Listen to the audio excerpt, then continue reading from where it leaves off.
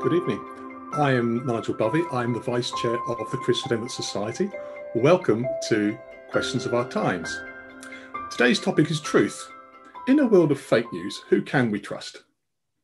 My guest today is a man who, when he was a cabinet member, was tipped to be a future Prime Minister.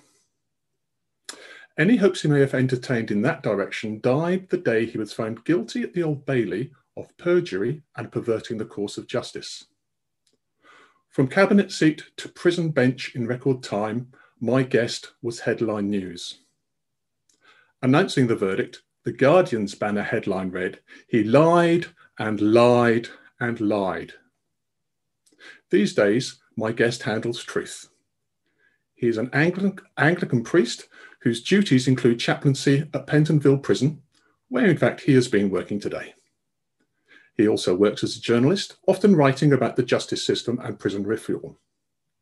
He is in great demand as a speaker and as a preacher. In fact, last Christmas, he conducted the Old Bailey Carol service, a scenario he could barely have imagined the day he stood in that very same courtroom in the dock waiting his sentence. To talk with me today about trust and truth is the Reverend Jonathan Aitken. Jonathan, welcome. It is so lovely to see you. Hello, good evening. Well done. good evening. We made it. Excellent. It's good to see you. Jonathan, before politics, uh, and of course, most people will know you uh, probably uh, for, for being a politician in John Major's uh, cabinet. You were a journalist. Where did you work as a journalist, and what did you do, and what did that particular form of journal, uh, particular form of journalism involve?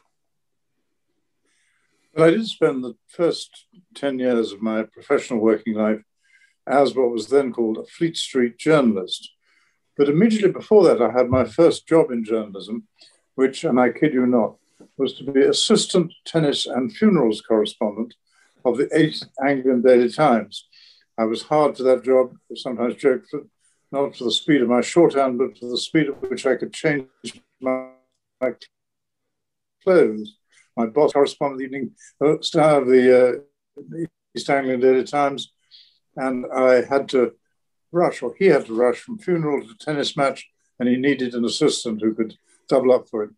From then, I really went to Fleet Street, mainly for the Evening Standard, uh, and I was an ordinary reporter, then a feature writer, and then I got a rather exciting break. At the age of 23, suddenly a chance came up to go and be a war correspondent in Vietnam, and I loved the danger and the excitement of the good reporting of that war, indeed one or two other subsequent wars.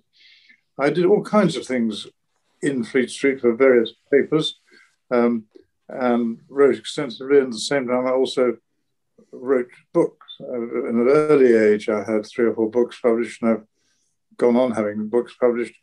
Um, I think 17 is my total of books. So I've been a writer and still in a small way am a journalist today. So journalism was an important part of my life. Uh, you say you wrote books. You you actually have written a number of biographies, n- not least uh, perhaps in the earlier days. You, you wrote a, a, biography of Richard Nixon, and also uh, subsequent to that, you wrote a book about uh, an, a, a, biography of Chuck Colson, both of whom, of course, were involved in Watergate. Um, what's the fascination do you have with corruption and politics? I actually don't think I have a great fascination with corruption politics. What I do have a great fascination with is a good story.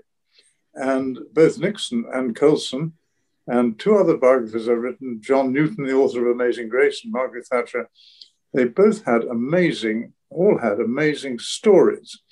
Now, there were dark clouds in Nixon's story and Colson's story, and indeed in Newton's story. He was in jail, hmm. flogged by the Royal Navy but um, I follow the story, not any particular theme.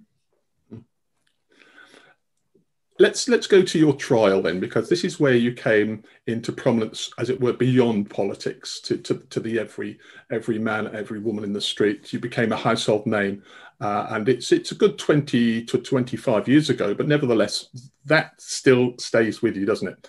Around the time of your trial, you announced that you would, and I quote, start a fight to cut out the cancer of bent and twisted journalism with the simple sword of truth. Jonathan Aitken, how did that work out? catastrophically badly. Um, uh, I sometimes have to um, watch that clip myself. It sort of comes up in news quizzes sometimes. And when I watch it, I um, sort of squirm with embarrassment and regret. And I say to myself sometimes, well, who is that berk up there, obviously telling porkies, which I'm afraid was what was happening. And I was fighting back at a moment of intense pressure and excitement.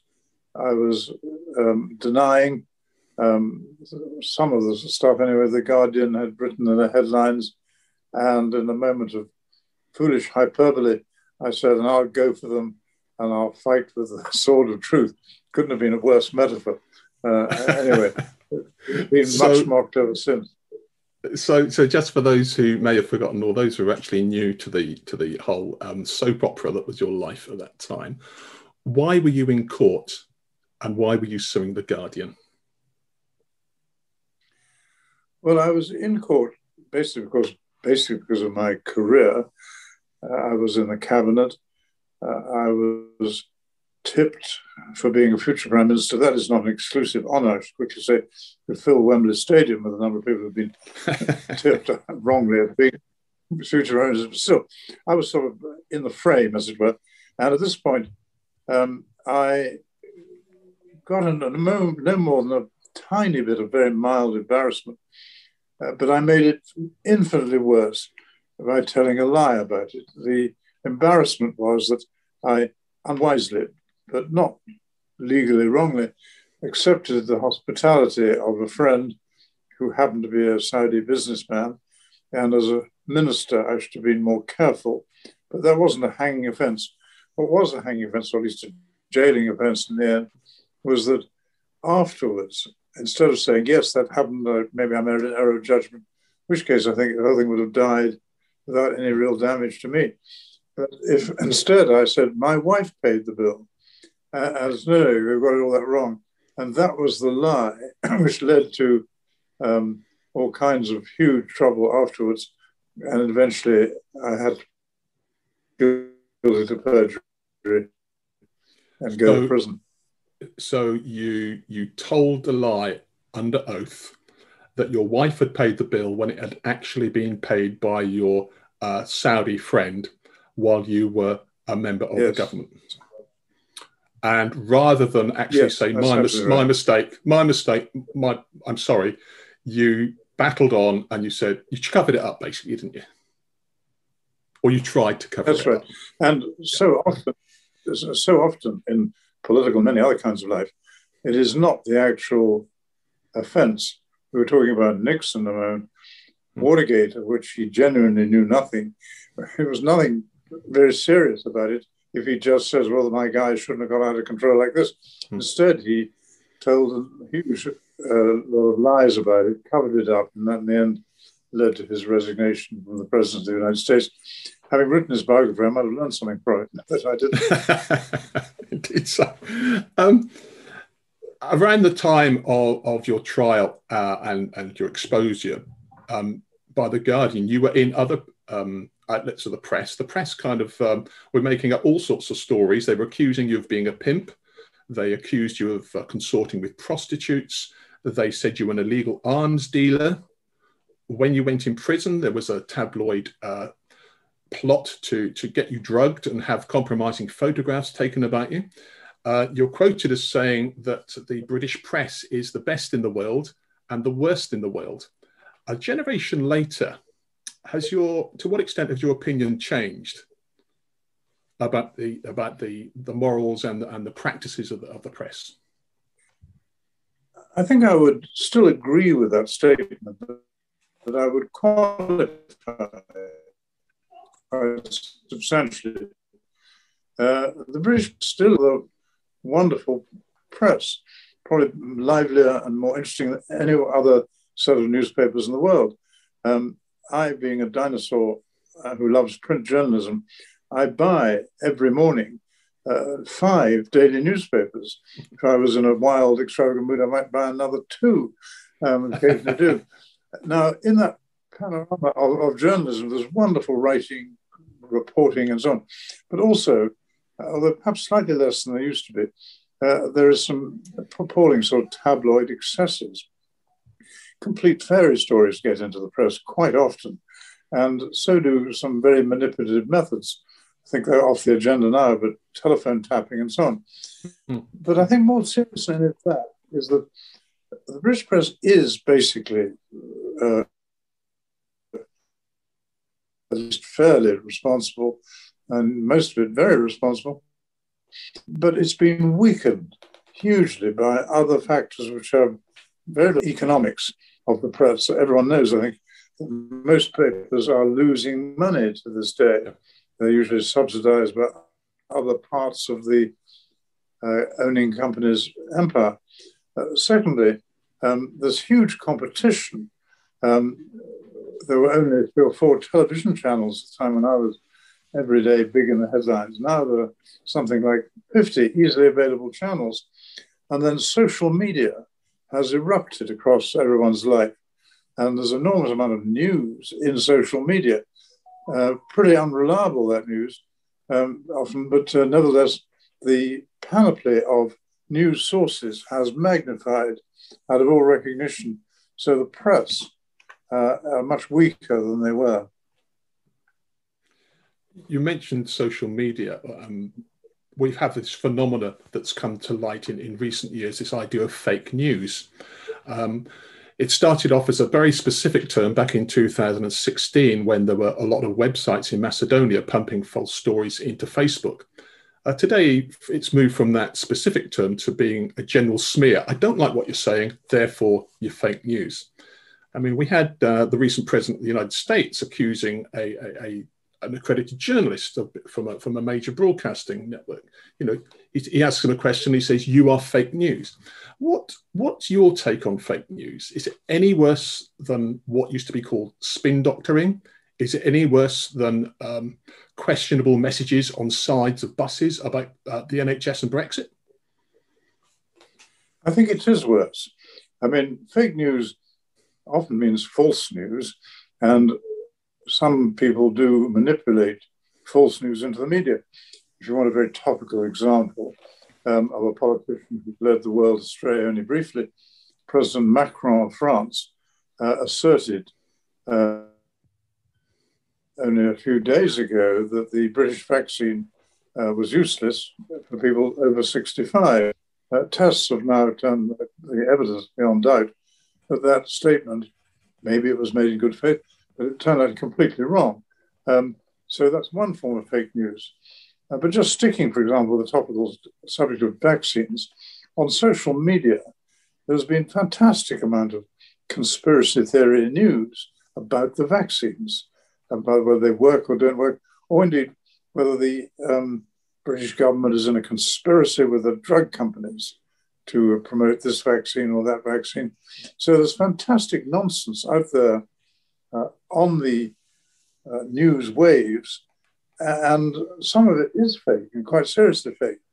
And why people make it fake, there are I think this goes far beyond spinning. And you can't often tell who is making up the fake news. If President Macron says, I'm waiting to see that, who's that's come from. But a lot of stuff on social media, uh, the, these are names like uh, Newshound or some anonymous name. Sounds rather authoritative. Newshound is good, new man, Newshound. Actually, spewing out. You should take that one. uh, and so, uh, so I think there's, it's harder to uh, separate the wheat from the chaff or the lies from the truth in journalism. And uh, nowadays, I mean, we have a situation where a lie can get halfway around the world before truth can get its shoes on. And this, I think, is a new era of whatever it's called false news, fake news.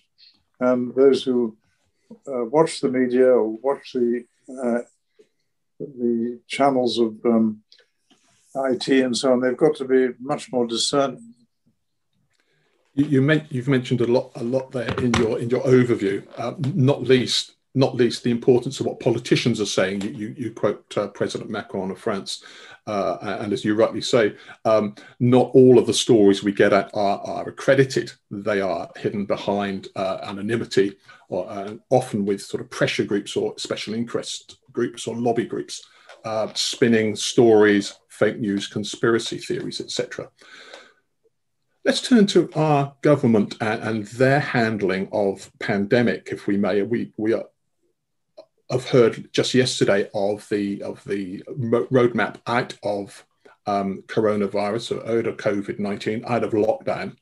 Um, but over the weeks, the government have, have seemed to have been wrestling with with the social and the medical implications and also the economic implications of lockdown. Um, sometimes that messaging has been a bit confusing. I would suggest that um, if we're following the science, um, the suggestion that actually we'd all have five days off over Christmas uh, is a little bit counterintuitive. Um, of course, in the event we didn't. But as a politician and as a journalist, how would you have advised the government about its messaging over the coronavirus pandemic? Well, I'm not sure I'd have done any better than the um, uh, present government has. Uh, let's give it some credit. Um, I don't believe anybody, the scientists or Boris Johnson or ministers and spokesmen, ever went out there intending to mislead anybody. They did sometimes give out wrong information. They did sometimes uh, get too optimistic in their forecasts. But I had the impression throughout that here were decent, truthful guys all trying to comment sensibly and govern sensibly in what was an unprecedented situation, which the flow of information was often very, very difficult to interpret correctly. So I wouldn't criticize um, anybody for getting things wrong. They did. Uh, but I think they got them wrong in good faith. Uh, nobody was sort of cooking the books. No one was really spinning. They were wrestling with a tumultuous flow of slightly confusing information and doing their best. Uh, if I, with the wisdom of hindsight, so easy, I think Boris Johnson was optimistic too easily, too quickly. Um, but I think so were probably for a time his scientists. They thought that when the first lockdown had a good effect, probably they were on their way to conquering the problem. And so there was a huge surge. I hope they're right now. I believe they are, thanks to the amazing success of the British vaccine program. Uh, but I think so. We probably are genuinely conquering. But even now, I think it is possible that uh, Boris Johnson and team may have been a little too optimistic about some of the things they think are going to happen. Maybe uh, they're going to be better than they think, in which case they'd be wrong again. But I think they have always spoken in good faith. So I have no criticism of them. I suppose it's difficult to have a perfect answer in an imperfect situation. Um, and of course, there are those people who don't believe the government because they don't trust the government. Uh, and, and it's when you don't trust that alter, alternative facts, as they're called, or fake news, uh, comes is more likely to come about how easy is it to believe somebody if you don't trust them? How how absolutely symbiotic, how interdependent are the concepts of truth and trust? Well, I think it obviously it's fundamental to a good democracy that the people trust the government and believe the government is speaking truth. Uh, that's uh, been undermined uh, to a great degree by several factors. Uh, first of all, if you say go back to World War II, people trusted what Churchill was saying. And he was speaking most of the time the truth. But there were certain times when the truth was at least suppressed for a considerable time. Uh, but people trusted the government of the day, and we were a more trusting nation and, and public than we are today. Today, we're very, very questioning, very doubting, very suspicious. Uh, and I slightly think it's more that we have become a society more mistrusting, uh, more suspicious than the, the politicians have got much worse. Of course, when they do tell lies, uh, as I did, or when government is obviously spinning, the vaccine story. I mean, I think, as far as any of us can tell, uh, the British government have played the vaccine story absolutely straight. And if anything, they've underestimated the success of it. Uh, so a fault on the right side. They've not boosted, not predicted as well as they might have done. Um, but um, there's still plenty of people out there who um, don't believe the truth about the vaccines. I referred earlier to how social media is pumping up stuff about conspiracy with the drug companies. Um, and so there is um, a, lot of mistrust. And I, I, think it's not necessarily the politicians' fault. Uh, it's perhaps part of having a much more suspicious society. But you say it's not the politicians' fault. But is truth, sorry, is trust in what our politicians telling us ever undermined by the behaviour, the personal behaviour of cabinet ministers and other honourable and right honourable members of parliament? Oh, definitely. I mean, I will always have on my conscience the fact that as a cabinet minister, I was caught out telling a lie. Mm. I hope I was not then or now uh, someone who could be called a serial liar who tells lies all the time. Uh, but I did definitely did tell a lie, and that of course undermines uh, people's trust in not just me, but to a certain extent in the whole structure. And that's something I have with to have contributed to that. And you're absolutely right to say, well, um, uh, all breaches of truth or trust do damage the whole edifice of trust in government. Uh, as against all that, I think politicians um, do actually reflect society. Uh, we are a less truthful society on things like business expenses than we used to be. And in a way, uh, the House of Commons probably has in it not a 660 saints who never tell a lie, it has 660 flawed people who do things from time to time which are wrong, including telling lies or including behaving badly. Um, does this shatter the whole edifice of government? Um, I think the public are more sophisticated than that. They see that um, you know politicians are human, that what's and all, that every saloon bar editor is representing the House of Commons, so every sort of exaggerator of a good story is representing the House of Commons and so on. Uh, so we get the politicians we elect to a large extent we deserve. Yeah, so I, I think uh, pointing a finger at the politicians, we sometimes point a finger in our own mirrors. So, so when we say that they are elected representatives, we're not only speaking, or we're not only using that term in a sort of political sense, that they are, are a political voice in the place of power, but they actually was representing us in the way that we as the electorate behaves, our attitudes. Um, so they, they, they're, they're representative of fellow human beings because they themselves are not paragons of virtue. I think that's true. On the other hand, I think once you are elected to an office of public trust, and a councillor or a member of parliament or cabinet is that, I think it's right to remember a wonderful phrase of Edmund Burke's about MPs. Uh, we sit on a conspicuous stage and the whole world marks our demeanor. In other words, the whole world is watching us. Yeah. And I think, therefore, you have to raise your game in terms of good behavior, truthfulness, and so on. And the fact that some of us fail uh, is, again, part of human nature. But I think it would be wise if I was advising young politician, I'd say keep that Burke quotation in mind. Indeed. Another area in which truth and trust are inseparable is religion. What distinctives do you think that the Christian narrative can bring to the concepts of truth and of trust? Well, the Christian narrative is fundamentally and at its bedrock a religion of trust and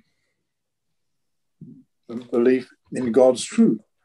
So it's absolutely central. Um, the uh, religions of the world, and the Christian religion in particular, uh, did not invent a whole lot of falsehoods. Um, they asked people to believe in fundamental truths. And, uh, and that was certainly what we all uh, in the Christian world do believe. So I, I, think you're right to say, is it important? Is it fundamental to religion? Yes, it is. Yes, it should be. Again, we have individual failures in the religious world. Um, but on the whole, I think those who seek to serve God in any capacity, um, but particularly as uh, ministers of religion or, uh, say, the Salvation Army or anywhere else who has what's called a ministry, I think they're under special duty to honor the fundamental uh, basis in which is to be truthful and trustful, especially as they proclaim God's message. So, so as whereas we wouldn't uh, necessarily expect politicians to to hold uh, such um, values almost as a job description, we do expect those in ministries to be honourable people, people of trust, and, and people who speak the truth. Definitely, I think when you answer God's call, you answer a call to the duty of serving God in ways that would please Him. And very on that list would be to always uh, be truthful and trustful, being ordained as a servant of God. Uh, and I hope and pray that my standards are much, much higher than they were when I was a politician. Indeed so. Now, Christianity presents the Bible as true and Jesus as the truth. Uh, what convinces you that the Bible is true and that Jesus is the truth?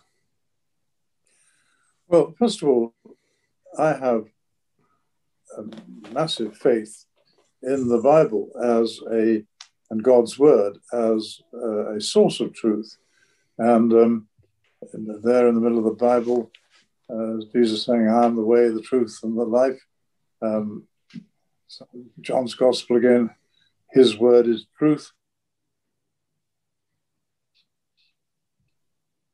You know, go back to the Old Testament, and 19 things like that central hmm. to faith, belief, and the Bible.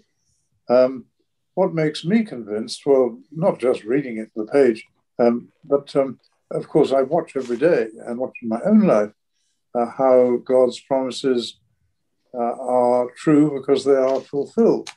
And I could go into that at greater length, but uh, basically, I think the evidence for uh, God's word being true is all around us in daily life, and we can find countless examples uh, of how uh, the promises are true. If I was to say something about my own life, um, I am Please. astonished today, um, having been sitting in a prison cell for lying um, uh, 21 years ago. Um, I never thought it would never cross my mind it would. And now to be an ordained priest and prison chaplain. How did this happen? Um, it really wasn't my doing. But God, I think, does make certain promises. God says to every individual, I love you. God says to every individual, if you commit sins and are repentant, I'm willing to forgive you. God says, I'm willing to transform you. God says, I'm willing to lift you up. God says, I'm willing to give you work to do for me. Um, those are his promises. Um, and in my own life, they have been not just fulfilled, but uh, generously um, implemented in a way that I can hardly believe still, but I pinch myself very so often. Uh, yeah. Think that this has happened. And so if you say to me, are God's promises true? I can only sort of sound in my breath, well, look at me. I, I was a really bad sinner. and um, yeah, yeah. I hope I'm a good servant of the Lord now. And that is a blessing of a promise to come true you you once described yourself uh, as a, a, not a born again Christian, but a failed again Christian. And and is and is that is that the is that the sign that of the grace of God? It's the grace of God that has made you the person you are today. In a, in a not perhaps in a not dissimilar way to which God dealt with one of your biography um, uh, subjects, John Newton, who uh, you mentioned earlier, but of course, you mentioned him in terms of his, his being um, prison. but actually, you didn't mention that he was a slave trader and God broke into his life, uh, reformed him uh, in, from the inside, and his behavior changed dramatically. And, and that was, and he goes on, of course, to write about Amazing Grace.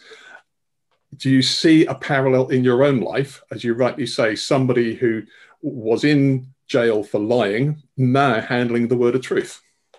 And that's all down to God's amazing grace.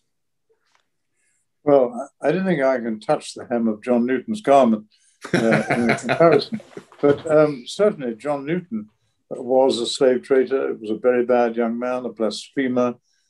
He was a deserter from the Royal Navy. He was jailed. He was flogged. He was a really very bad character and a slave ship captain. Uh, and so he did many, many very, very bad things. But God transformed it. God changed it. Uh, and God does this all the time. Um, some of the disciples are pretty ropey characters, at least for some of the time. Um, and uh, Peter, who did all kinds of bad things, including denying Christ three times, became the rock on which the church is founded. So God's grace, I mean, uh, I'm not sure you can um, work uh, your, your passage uh, to be a, a redeemed and changed person grace is a gift. Um, I think you can position yourself perhaps where God thinks you're working with grace too, but you can't earn grace. You can't work for grace. Yeah. Grace comes as a gift from God. And whether it's me or John Newton or any amount of people you can think of, um, I think gratitude is the order of the day, not patting yourself on the back saying how well I've done. And that's right. Yeah. I mean, at its heart, Christianity is is not about believing a set of promises. It's about a relationship with one person, isn't it? It's about trusting Jesus. Yes. You have you have come on a journey and a path that few people will have will have journeyed. What evidence, what convinces you that Jesus is somebody who is worth trusting with your life? Well, first of all, uh, on a um, just learning level, I think you should study God's word, as I certainly have done.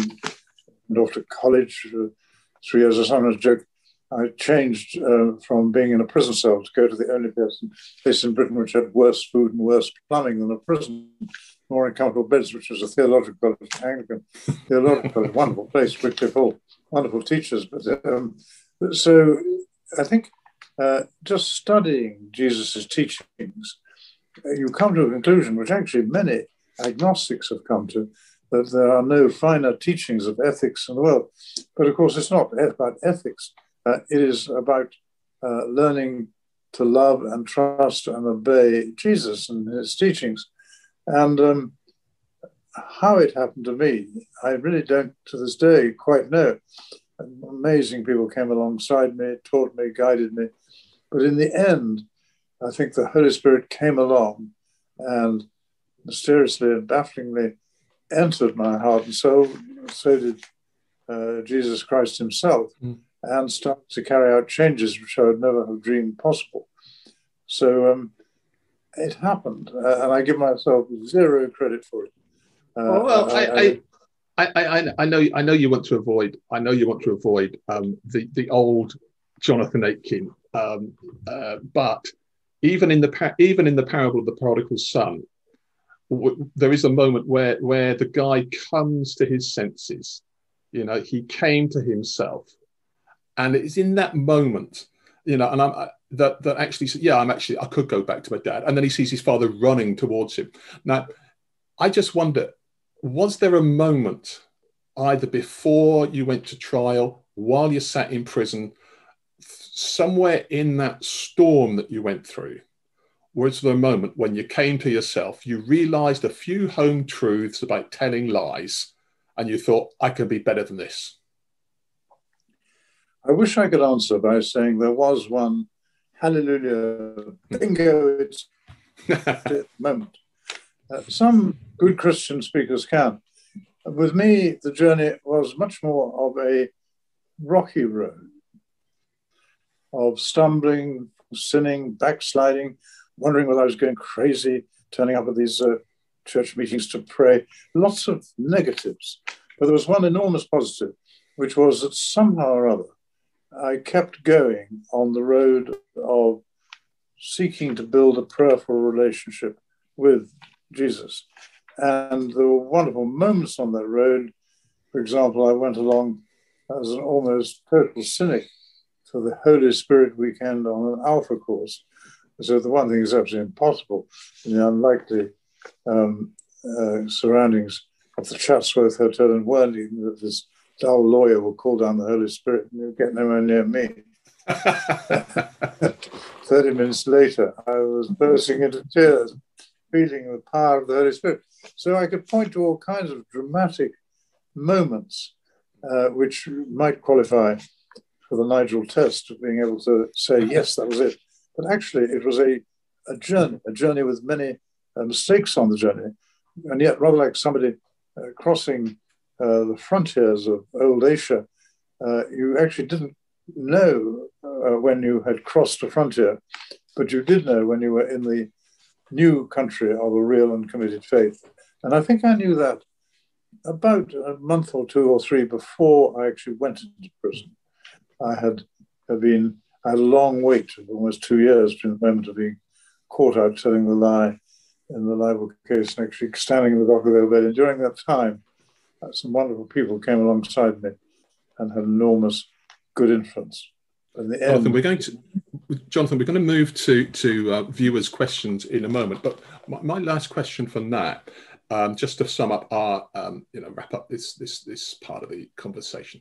Um, after the trial or around the trial, you you you said because it was true, you had lost everything. You'd lost your job, you lost your then wife because you went through divorce, you lost trust, you lost position, you lost your place on the Privy Council, you lost your reputation, you lost a fortune, you lost a future how easy has it been to forgive people who went after you? And how easy has it been to forgive yourself? Um, surprisingly, not nearly as difficult as I thought it would be. Um, let's get the um, uh, other people out of the way. Mm-hmm. Not easy. So all these things take time. But um, uh, I don't suppose he's watching it, but the editor of The Guardian at the time was called Alan Rusbridger, was one of my yeah. strongest pursuers. And actually, he's rather a good friend now. We uh, work together on one particularly important issue, um, sort of trying to fight all bad forces in the College of Christchurch, fighting for the Christian Dean. But we work together uh, and we cooperate, and I think we both like each other and trust each other. So that's a big uh, and uh, so there were, uh, but there were plenty of other people who perhaps didn't uh, treat me well at the time, who I've long since had no uh, forgiveness problem. Forgiving myself, hmm. um, I often meet people in prison who say, I can't forgive myself. Um, and especially if I'm meeting them, as sometimes I am in the chapel, I say, Do you believe that God can forgive? Oh, yes, yes, I do. I say, well, hang on. Um, if you believe that, um, uh, if you think God can forgive you, how on earth can you think that you can't forgive yourself? That's an absolutely logical argument, uh, which quite a few people, and even perhaps you from your question, think that I might not be able to forgive myself. Uh, actually, uh, perhaps I can't forgive myself, but I don't worry about that at all, um, because um, I've been forgiven by the source of true forgiveness uh, and all truth and all power. So why worry about things I'm I still have twinges about, and I do. Um, I do believe I've been forgiven by the greatest power of all, and so of course I've long since worrying about forgiving myself. Thank you, Jonathan. That's that's absolutely splendid um, to hear from you and to hear about the grace of God, about the change in your own life, about your views on politics today and faith and uh, fake news, and we've got loads of questions, as you might imagine. We have now 14 minutes. Here we go. First thing is, Jonathan, um, one of our viewers asks, how can we resolve the tension between the right to free speech and dangerously deceptive lies such as the anti vax movement? Um, John Milton uh, once wrote a great line saying, Whoever saw truth put to flight by true and open encounter. What I take that to mean is that, yes, there will often be lies flying around, but in the end, it's the truth that comes out. And the anti vax movement, full of rumors and conspiracy theories, uh, I don't think it's doing very well um, because um, who believe in scientific truth, which uh, we're told is of supreme importance in the coronavirus pandemic, the tests are more and more showing how reliable the vaccine is. Also, more and more people, including who started as anti vaxxers, seem to be trickling into uh, the vaccination rooms. So I'd say truth will out. Okay. Thank you. Truth will out. Okay, let's try this one. Again, a similar a similar topic on of fake news and, and conspiracy theory. Uh, how would you advise young people to guard themselves from easily believing fake news and helping to spread manipulated information? I think I'd say go to the source. First of all, can you know, do you know who the source is?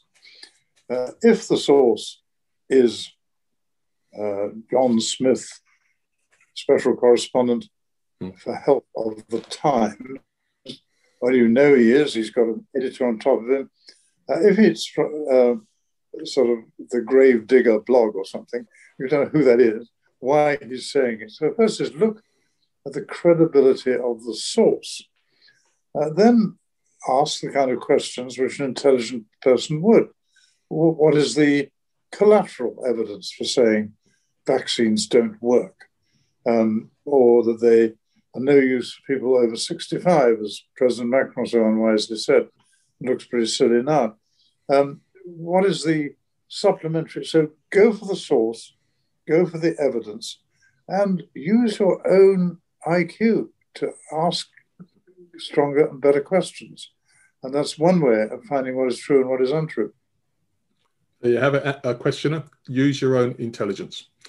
Okay, Jonathan, to what extent has the 24 7 news cycle, you know, this constant monster that needs to be fed with news, even when there isn't anything news, uh, how, is, how much has that fed in, uh, been feeding into the concept of fake news? Is, you know, put it another way, is fake news a byproduct of the relentless 24 7 news cycle? I think to some extent it is that relentless high pressure to get first with the news. Um, uh, I remember I worked for a great editor in Fleet Street called Charles Wintour, edited this Evening Standard, and he always used to ask, "Have you checked this? Have you double checked? Have you gone back?" And I remember him once saying to me, "If we can't, if we can't check, we don't print." Hmm. Um, well, I'm afraid the 24 news cycle makes double checking uh, because it takes time and so also get first with the news, maybe with the fake news. Um, and so exciting rumors get given credibility much, much more easily than they used to. And so I think the 24 hour news cycle does have a part to play in the growth news and the repetition of inaccurate news. It's one of the villains. Let's stay with news in a minute. We're going to we're going to move to the sort of the religious uh, themed questions. Let's stay with news for, for, for, a moment. Where do you stand on press regulation? I mean, since since you were accused of uh, falsely accused of all sorts of things, being an arms dealer, uh, being a pimp, and so on, um, there have been press inquiries. There has been the Leveson inquiry in particular that took up so much time, energy, and money. Where do you stand? Should the press be regulated or self regulated? I think it's a fairly good idea to have uh, not so much regulatory bodies, but watchdogs who uh, people can complain to. Of course, there is the law, which people can, of defamation, people can take cases to court. Uh, but on the whole, um, a free press sometimes includes the freedom to make mistakes. Um, and there are limits on press freedom. The famous US judge who said freedom of speech does not include uh, the freedom to shout fire in a crowded theatre. Mm. sometimes there are false stories which are almost equivalent of shouting fire in a crowded theatre. but on the whole, I don't really, I, am not a great believer in um, state regulation, God forbid, um, or um, I, I, think light touch regulation. Um, and um, I think it's better for optical reasons, not done by the press itself. It's better done by people who are independent of the press themselves. I think part of the old press council was they were all appointed by big newspaper groups. So I think independence of the regulator is very important. But I'm not an over regulator because I don't believe it works. Okay. Let's move to politics. Uh, a question asks How do you view the grilling of uh, commentators? I hope you feel you're being grilled tonight, uh, that uh, commentators often give to politicians. Are these efforts to catch uh, MPs out helpful, or do they foster a culture of negativism, negativism and mistrust? I think um, a competent politician should be able to get his message across without being afraid of uh, fierce interrogations, fierce and courteous interrogations, I should say, because it's no point having a, an abusive interrogator. But a good uh, interrogator, a good questioner, whether it's on television or something as agreeable as tonight, can get it, get there, I think.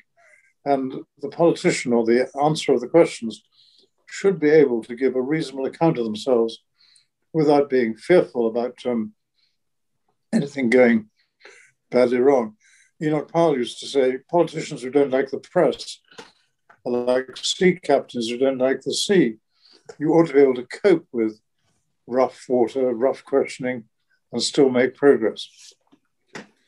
You're making progress tonight. I'll tell you. Here's another one. Um, many people don't trust the government, this government or any government do you think there are truly any honest politicians, or are they mostly self serving and corrupt? I absolutely do not think that most politicians are self serving and corrupt. There may be a few rotten apples here and there, but uh, basically, most people who go into Parliament, go into public life, do so with rather good ideals. Why do they want to go? it's not wonderfully well paid. Um, it's um, a lot of tough pressures on you. Um, why do it? I think most of them do it because they have a genuine ideal of public service. now, there are many other factors the vanity, the publicity, yes, yes, yes. But basically, at heart, there is very, very little, um, I think, uh, you know, corruption uh, too. It's extremely difficult, of about anything else, to be corrupt as a politician. Um, the civil service are vigilant watchdogs prevent ministers on the whole don't have a place, must know contracts or business. They don't, the, the, the whole system. Uh, and if you actually think about British government, point to me in the, the number of real corruption scandals in living memory. Astonishingly few. I mean, if my hotel bill in the Ritz Hotel is what you can produce as corruption. Well, it was bad, but it ain't very high on the scale of uh, you know wicked corruptions, uh, and, um, and that that I think seems to be true. Of, you know, a lot of politicians do wrong things, but I, I can't remember when I last heard of a politician or a judge taking a bribe, anything like that, um, or becoming very rich as a result of um, uh, some decision they'd wrongly taken. I think we're very blessed in this country that, on the whole, the system is uh, well policed, well watchdog, and pretty honest. So I don't at all buy the idea that politicians are venal and corrupt.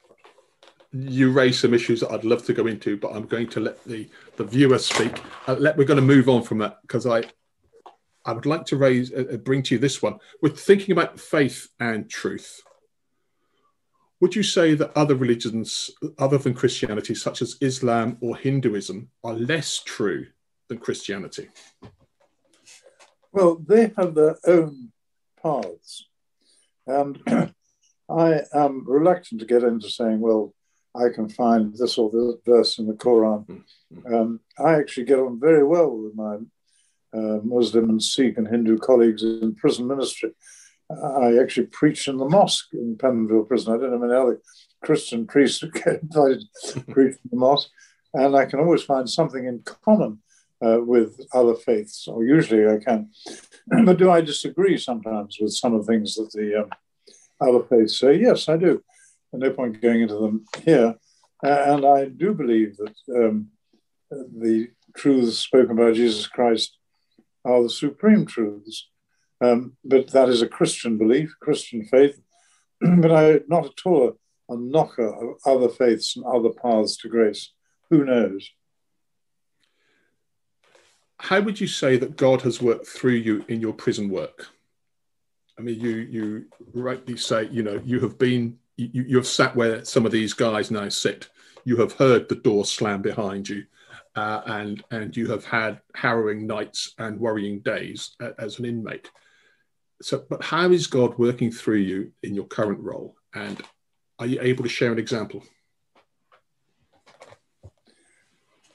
Well, for example, today in Pentonville Prison, uh, I sat down with a minister of religion who had been convicted of uh, a sexual sex offence, and um, I saw a really utterly broken man, um, and we talked for the best part of an hour, and I was able to, and rather interestingly, he started to say at the beginning of our conversation, there were no real victims in my case at all. Um, and by the end of the hour, I think I had made him see, just partly talking only about myself. Um, in a way, there were no real victims, I might have asserted in my case, but of course, my family and so on knocked for six. Um, so I think uh, from having been a prisoner, I find it very easy to connect and have a rapport with those. Also, once they've got over my posh coat collar and my Eton and Oxford accent, I told them that I was a prisoner, and they believed me. We then again, and, and I think communicating God's love, God's forgiveness, God's truth, um, that's my job. Um, and it isn't a quick or easy job, but I love the pastoral work of talking to someone who's done something really bad and helping them perhaps first of all to see how bad it was that may be part of the job, or how much they could be loved and forgiven by God, or how they could have a future in a different to the one they thought. Man I was talking to today will never be a minister of religion again, but he may be still a servant of God in most unexpected ways. so look at me. I would never believe that. So, so uh, our, our, last our last question for this evening, Jonathan, and, and, thank you for so much for your candor and your openness uh, and your truthfulness tonight. Uh, last question: uh, How do you feel that your difficult times have deepened your personal relationship with God? Enormously. Um, there's a verse from Isaiah I'm rather fond of. It's Isaiah 45, verse 3. And it goes, I will give you treasures of darkness, riches hidden in secret places, so that you may know that I am the Lord. Now, I know something about darkness and dark places, but I also know that in them um, you can learn uh, and discover these treasures which show you the power of God's love. And that I think happened to me, it can happen to anyone. Um, but it is a wonderful gift and wonderful treasure, which I think if you seek, you will find it. And on that note, Jonathan Aitken, thank you so much for your time. Thank you. This has been Questions of Our Times with my guest, the Reverend Jonathan Aitken.